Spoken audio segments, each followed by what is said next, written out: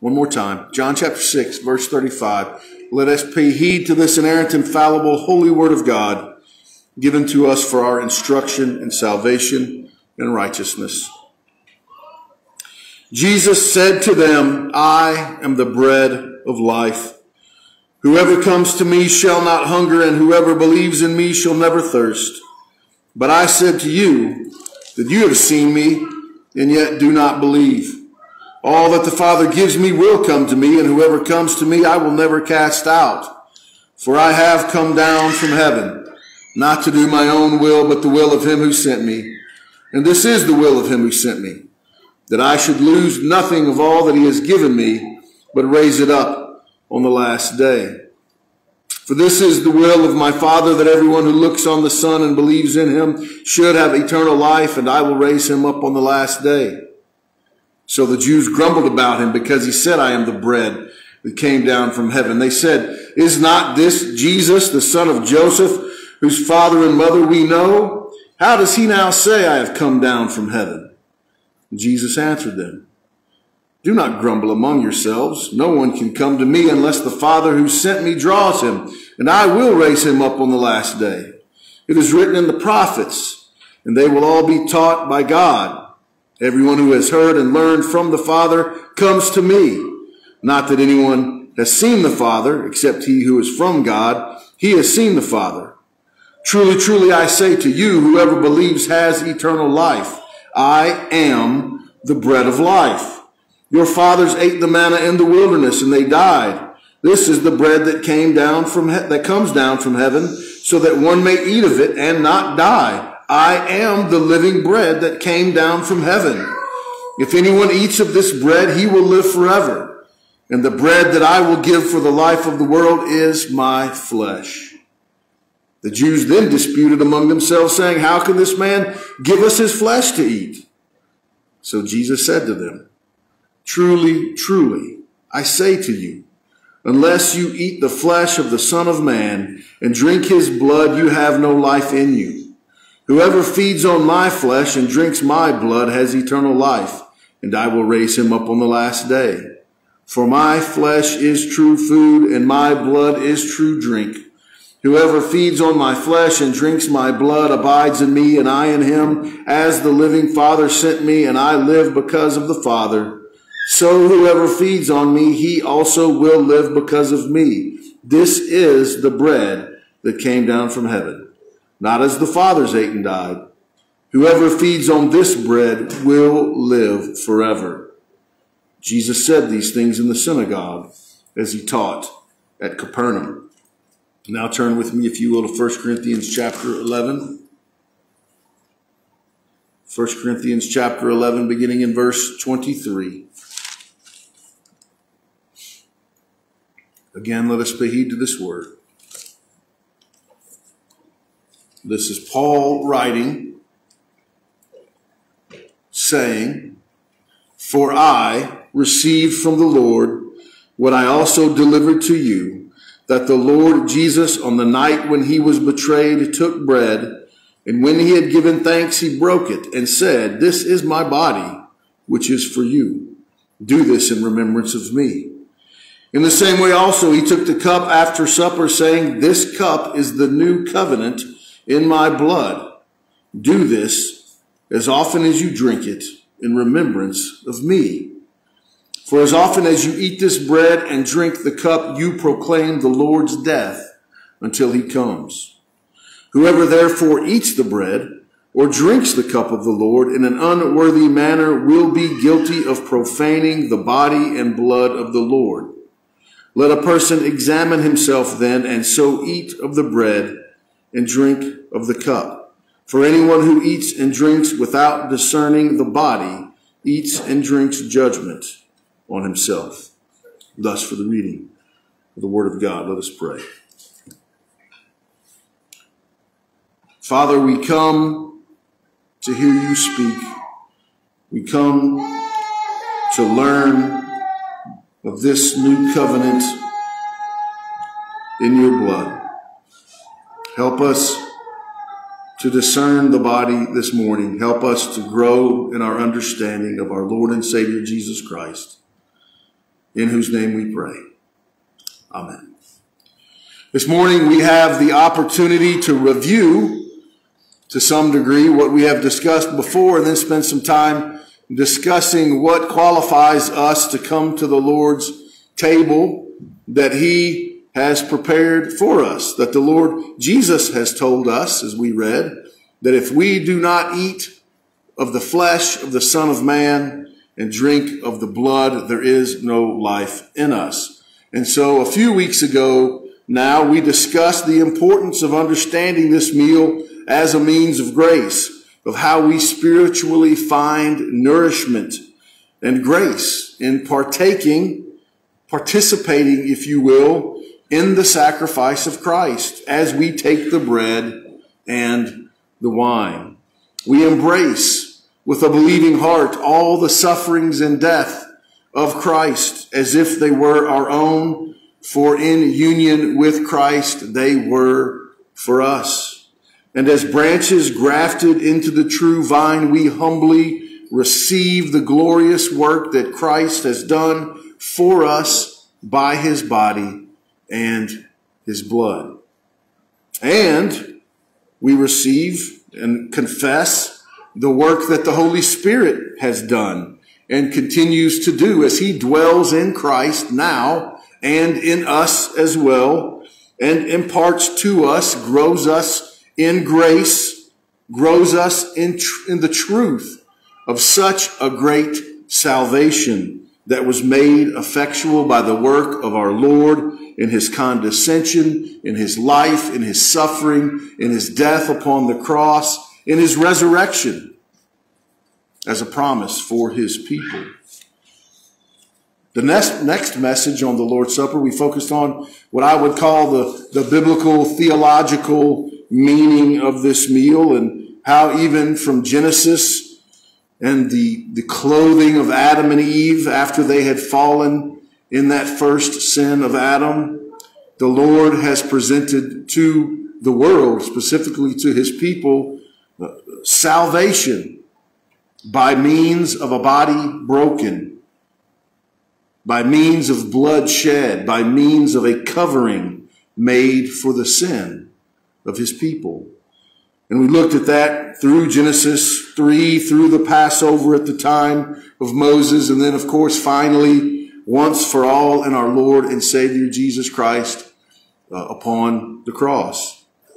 And we stated that what we mean by this service of the Lord's Supper is that we are, as we read again today, that we are declaring the death of our Lord and Savior Jesus Christ until he comes.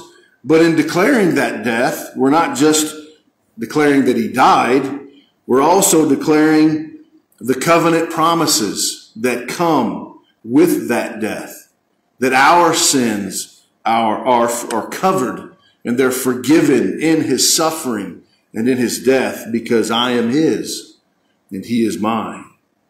This is not just some general meal for, for the world, but Jesus offers this meal to his elect. He invites us, his people, to partake and participate as this means of grace that strengthens, it strengthens our understanding.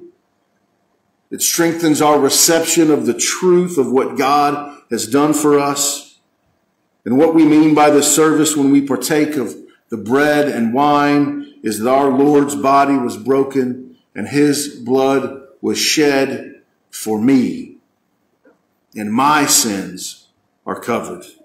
And not only mine, but all those that are partaking with me in this room this morning, in this meal. We are one. We are His.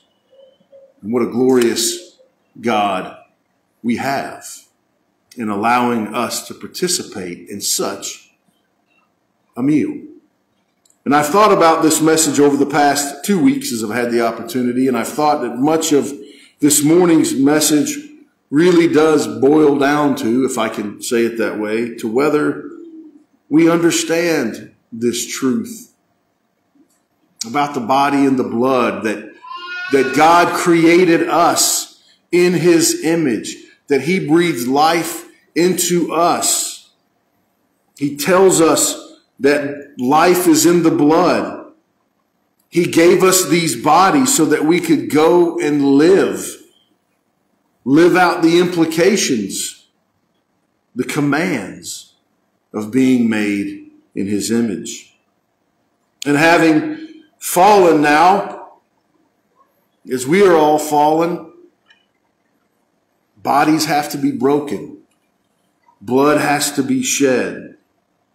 A new covering given, or we cannot be saved. And this is all provided in Christ, in his body, in his blood, and his covering. And in his once for all time sacrifice, and that's going to come to be important. We have this truth signed and sealed in the Lord's Supper. I will mention this again, or these three things again at the end, but to take the Lord's Supper worthily, which is what we're really speaking of mostly this morning, I'll go ahead and tell you it means that we have to ask ourselves, do we understand our sin? Do we truly understand our sin? Do we understand who our Savior is and what He has done? And then do we take this supper with the full spiritual intent to live in obedience as the Lord has commanded in His Great Commission? As He said, go forth and make disciples and baptize and teach them, not just teach them the commands, but teach them to obey all that He has commanded. And so this morning, again, this, the first point we must cover that we'll be discussing, uh, something is something of what is declared in the Lord's Supper. What do we mean by the Lord's Supper and what do we mean differently than what Rome means by the Lord's Supper? And then the second point is how understanding the truth behind what we are doing in the Lord's Supper, what we are declaring, qualifies us to partake in this meal. Some of what we're going to say here in the first half, again, might seem a bit repetitious, but that's always necessary for um, us fallen individuals. And actually, this 80th question and answer of the Heidelberg Catechism that we read is actually an addition to the Catechism. Um, one of the, the German rulers, I, believe Frederick III, I think had the Heidelberg Catechism kind of drawn up in the first place. But he ordered this additional question, 80, to be added because he did not feel that question and answer 78 was strong enough in renouncing the Roman Catholic Mass and what the Mass was meant to represent. And that's why I held off a little bit a couple of weeks ago. We'll look at it more closely today. If you look again to about halfway down the answer to question 80, you find that the Catechism tells us that the Roman Catholic Church teaches, taught or teaches, they both are true, that in the Mass, the pardon of sins was not completed at the cross, but that Christ must continue to be sacrificed in the form of the bread and the wine. And so additionally to that as well, because he is being, the, bread and wine literally is becoming our Lord. Additionally, the bread and wine then is to be worshiped. It is to be worshiped because in the Roman Catholic teaching again, it's not just that Christ is present with us. It's that that is him in the bread and the wine. So they worship the bread and the wine. You need to understand that this is true of the Roman Catholic Church. It may not come across in every congregation, but it is the teaching of the Roman Catholic Church. At the Council of Trent in the 1500s, 1545 to 1563, the Roman Catholic Church declared, and I quote, the sacrifice, this is not a quote, note that they call it a sacrifice. Back to the quote, the sacrifice of the Mass is propitiatory both for the living and the dead. And for as much as in this divine sacrifice, which is celebrated in the Mass, that same Christ is contained and immolated in an unbloody manner on the altar of the cross. The Holy Synod teaches that this sacrifice is truly propitiatory and that by means thereof this is effected that we obtain mercy. Christ is contained and immolated in the body and blood on the cross. I brought another book. I don't know how much I'm going to read.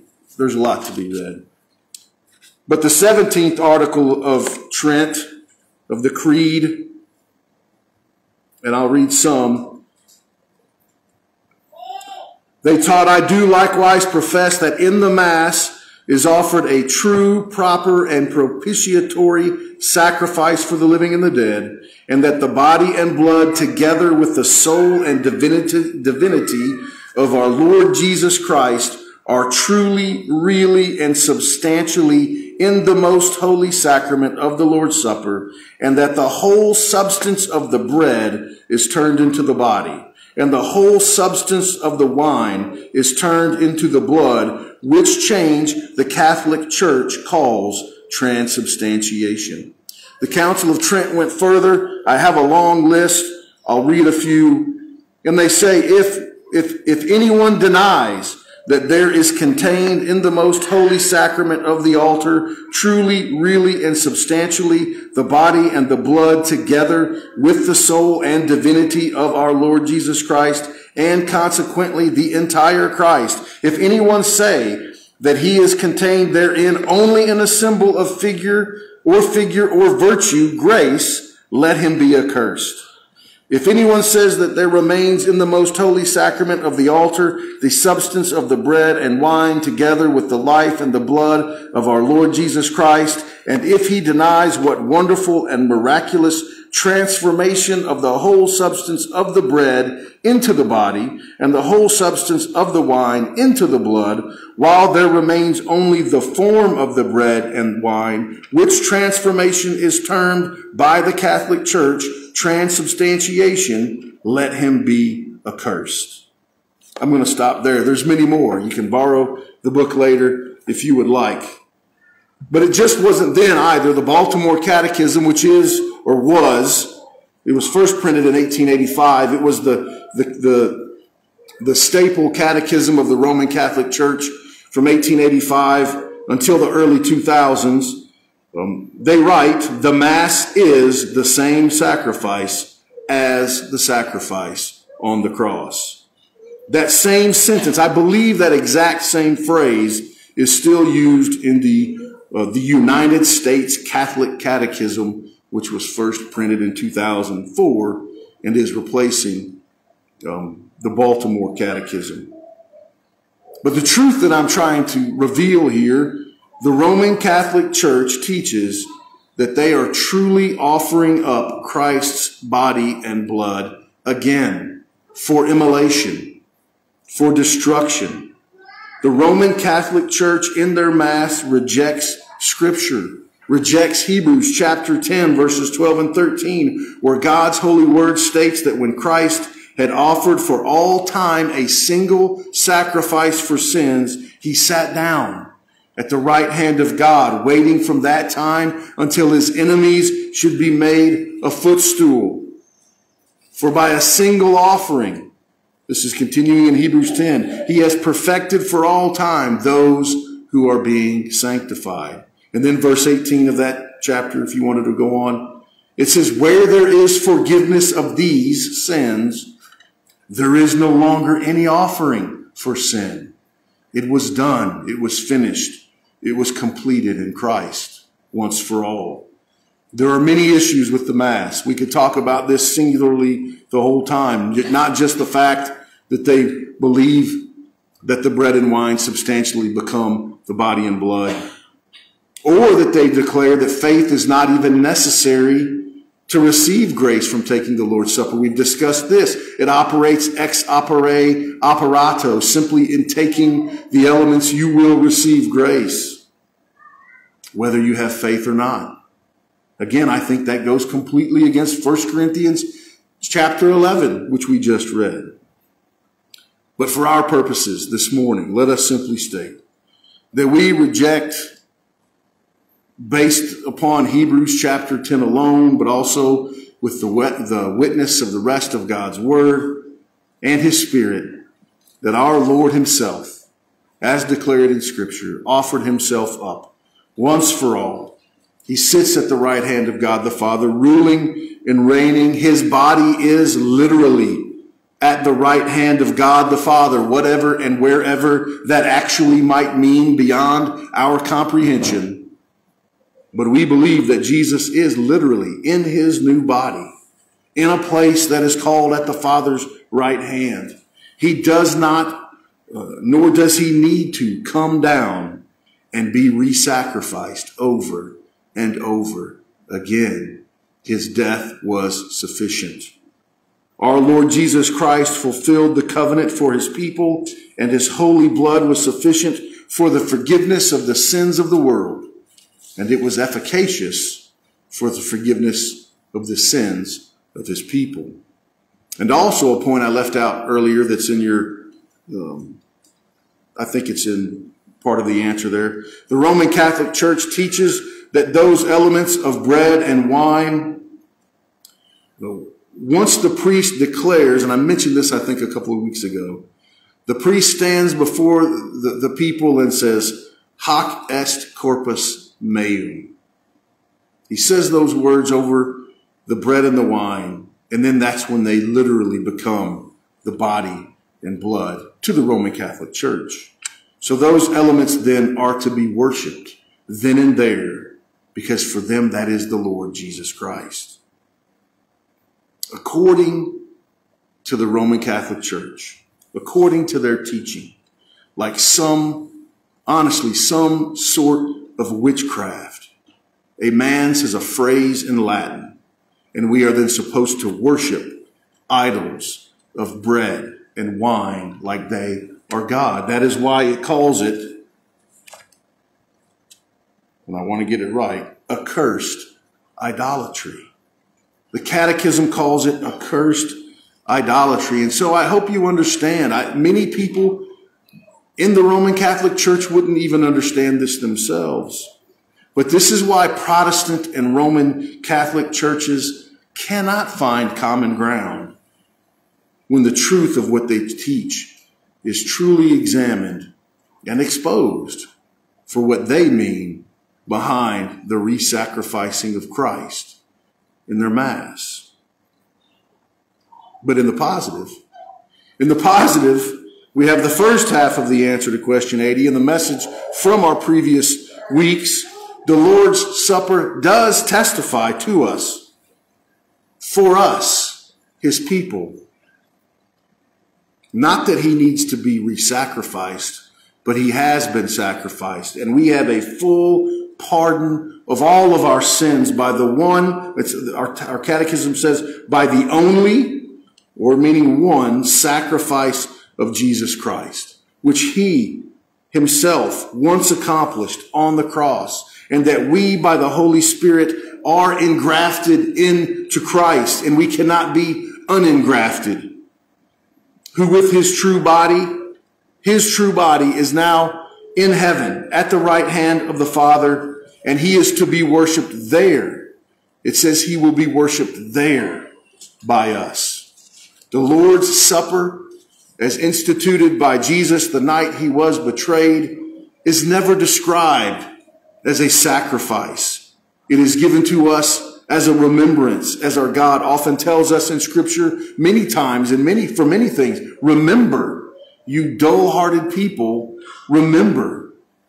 And Jesus gave our dull minds and memories and senses this sensory sign and seal of the Lord's Supper so that we might understand more intimately our union with him through his once for all sacrifice. He sits at the right hand of the Father and is present with us spiritually as the Holy Spirit nourishes us and as our Lord himself awaits to take this meal again with all of his people in eternity.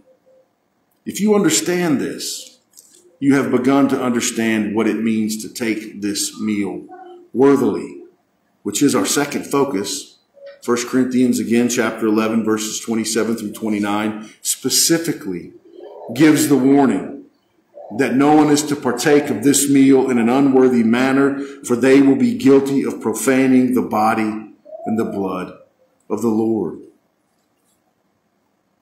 This is not talking about whether you will ever be worthy enough to take this meal, for you won't. This is talking about you taking it in a worthily fashion. As we look at these verses, uh, 27 through 29 and 1 Corinthians 11, we see that the comparison is that someone who takes of the meal unworthily is someone who is uh, not eating and drinking with the discernment with which this sacrament needs because we are spiritually feeding upon Christ. I know the language that we are spiritually feeding upon Christ can sound odd to some, to, to some modern ears, often because of the evangelical and fundamentalist circles that we come from or that we grew up in. But I simply point us back to John chapter 6, which is why I read it again this morning. The language used in John 6, the truth that he tells us that we must feed upon him. The nourishment is, of course, spiritual and not physical. But Jesus knew from eternity what he was coming to do and what he was coming to institute. He was not coming to institute a re-sacrificing of himself.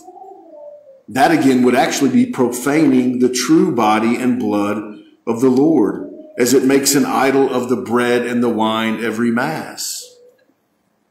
But with the words that Christ gave us, that he gave the apostles as he instituted this meal, tied to the elements, we understand and we grow as we understand what he wants us to understand, that he is present, encouraging us, feeding us, we are further sanctified and conformed in his likeness, understanding his body broken, his blood shed, and that we are covered. To reject that Christ wants us to understand that we truly receive nourishment in this sacrifice, his body and blood in this meal, to not let the body and blood, have the sacramental meaning that God instructs, is to take the meal unworthily and again to profane the body and blood of the Lord because we, we take it not believing that Christ is truly at work sacramentally in the meal. But we have further instruction from the Heidelberg Catechism as well that's beneficial. It almost seems too obvious to state, but there's nothing too obvious now in the world that we live in when we don't know the difference between men and women. The first obvious statement is that the Lord's Supper is for believers. It is for believers. That shouldn't have to be argued, so I won't argue it much. But it is for those that have repented and believed upon the Lord Jesus Christ for forgiveness of their sins. It is for those that have entered into covenant with God, even falsely, possibly, as we find in the case of Judas. But we are told there is to be discernment. That's why the warning is given. Even in Judas' case, there's an argument as to whether Judas was present for that final Passover meal that became the Lord's Supper. But there was even a warning given then. In Judas' case, Jesus declared at that meal that the one that would betray him was sitting at the table and woe to him that was going to betray him. There was a warning there, which was basically, I wouldn't take this meal if I were you. In answer 81, we find not only some basic qualification for those that the Lord's Supper are for, but we really could say that the statements in the answer of 81 are what it means to be a Christian. For it's a Christian that is to take the meal. The question in our catechism is for whom is the Lord's Supper instituted? There's a more modern translation that asks the question this way. who are to come to the table of the Lord. And I like that better, especially for us this morning. Who are to come to the table of the Lord? I want you to think of these phrases in that manner. Which of you in this room this morning, right now, are to come to the table of the Lord? Those of you that are truly sorrowful for your sins, and yet you trust that they are forgiven you for the sake of Christ. You should come to the table. Which of you in this room should come to the table of the Lord? Those of you that understand that your remaining infirmities, your remaining sins are also covered by Christ's suffering and death. You should come to the table of the Lord if you earnestly desire to have your faith more and more strengthened and your lives more holy. Examine yourself. Are you a believer? Can you answer yes to these questions? We can't answer these questions for you. If you can answer yes, this meal is for you. But hypocrites, Again, this is found in the Catechism. Hypocrites. Those of you pretending to be something you are not. Those of you that act loving and forgiving on the outside, but are not uh, truly repentant.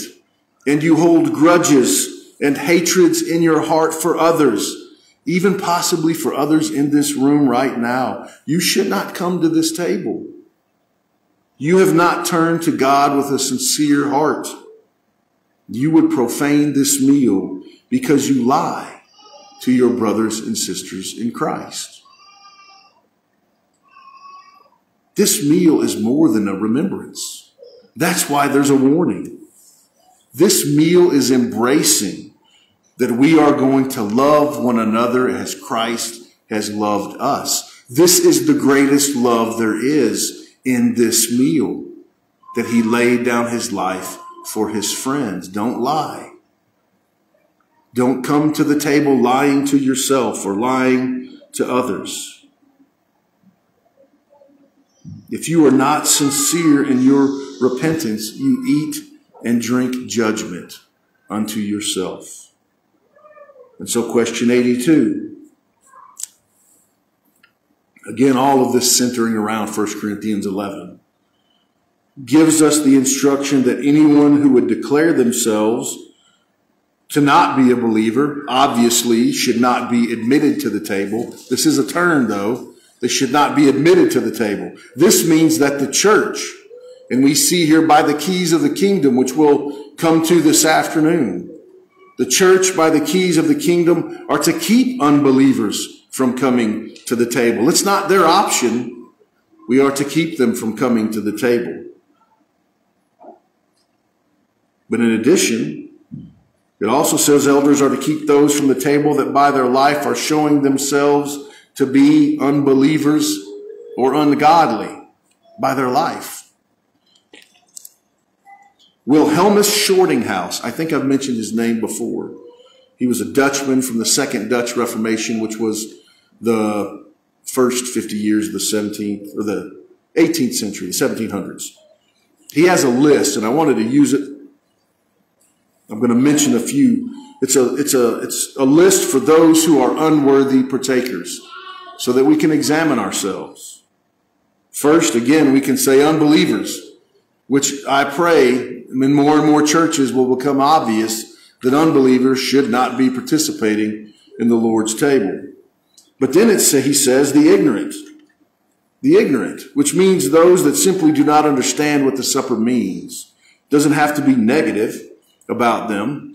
They just need to learn. They need, we need to teach them what the supper means so that they can take it worthily.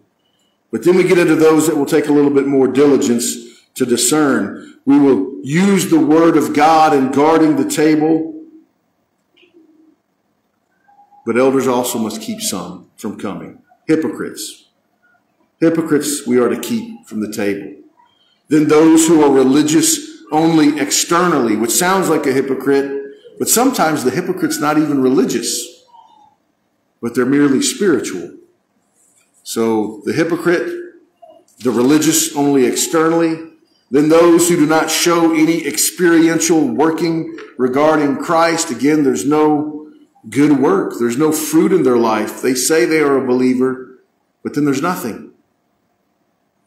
Possibly some of those that never attend church unless it's time to take the Lord's Supper. And then finally, those who are not united in heart and walk with God's people. Simply meaning, again, those that aren't members of a local congregation or that are, but the congregation allows someone to never come to church and keep their membership.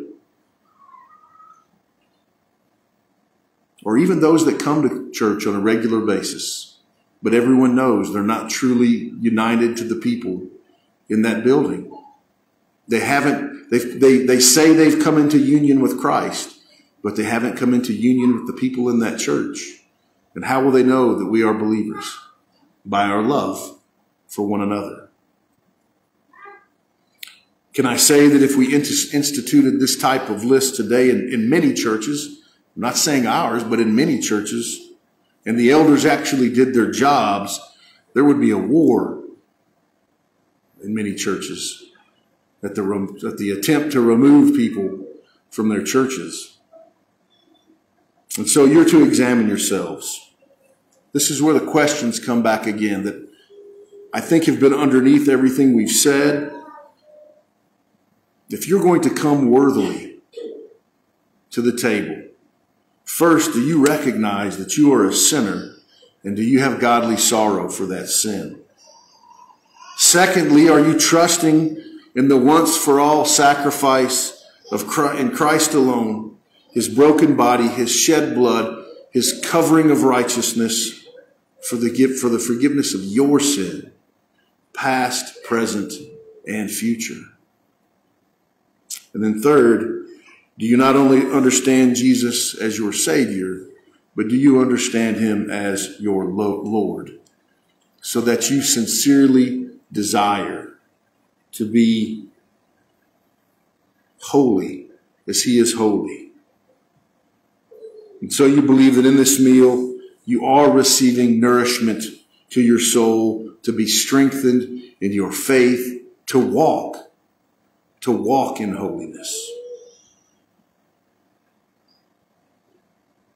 Do not come to the table wanting to be seen by others as taking the Lord's table, to be seen by others as something you are not. If you cannot answer yes to these questions, do not compound your troubles with eating and drinking further judgment upon yourself. And pray. Pray for your elders. We'll talk more, a little bit more about this this evening. For you see in the answer 82, the, the question and answer 82, it's not just your individual judgment that is focused here. This should make us concerned for many congregations. It should make us see why judgment's already begun in the house of the Lord. If elders allow those that are unbelievers or those that are living in unbelief or in an ungodly fashion to take the Lord's Supper, those elders are allowing the covenant of God to be profaned and they're asking for God's wrath. It says God's wrath is provoked against that whole congregation as it was in Israel with her and her watchmen, so it is with the church today. And how many churches are actually guarding the table or even understand what is happening when we sit down to remember what our Lord has done? 1 Corinthians 11 verses 30 through 32 instruct the church that many are weak and sick and many sleep because we are not judging ourselves. That's what it's saying. Look at the phrases. Read it again. We, we are, we are weak and sick and many asleep because we're not judging ourselves. 1 Corinthians 5 and 11 here tells us we are to judge ourselves so that God does not judge us. The warning from Psalm verses 50 verse 16, God says to the wicked, and hear these words, God says to the wicked, What right do you have to declare my statutes or take my covenant in your mouth, seeing you hate instruction and cast my words behind you? How much difference is there between the church and the wicked if we're not guarding this holy table that God has instituted? Titus chapter 3, verses 10 and 11. Reject a divisive man after the first and second admonition, knowing that such a person is warped in sinning, being self-condemned. Second Thessalonians chapter 3 verse 6. We command you in the name of the Lord Jesus Christ that you withdraw from every brother who walks disorderly and not according to the tradition which he received from us. Friends, there are not many that can stand to hear these words of God that I just read to you. If I said them to someone and didn't tell them they were from the Bible, even if I did, they might just say I'm being judgmental or legalist. But these are our commands. These are commands given to God's people. Why? Because God is holy. He's holy. And this meal is holy. It's sacred. By the application of the Holy Spirit, of the words of institution to the elements that Jesus himself gave us, this meal is holy and it's serious. Baptism and the Lord's Supper both mean more than just some memory of something that God did a long time ago. These are signs and seals of what God continues to do, what he's, what he's doing now and what he will continue to do. And if we are going to partake worthily, we need to get more serious and sincere and reverent about the means of grace our Lord Jesus Christ has given us. If you are in Christ, you are forgiven of your sins by the body and blood of Christ. You are covered, past, present, and future, by the person and work of Jesus partake worthily in this meal, God instituted it for you, for his glory, for your strength and encouragement and growth. Partake seriously, partake joyfully, and partake worthily because you understand what our great Savior has done for us. Amen. Let's pray. Heavenly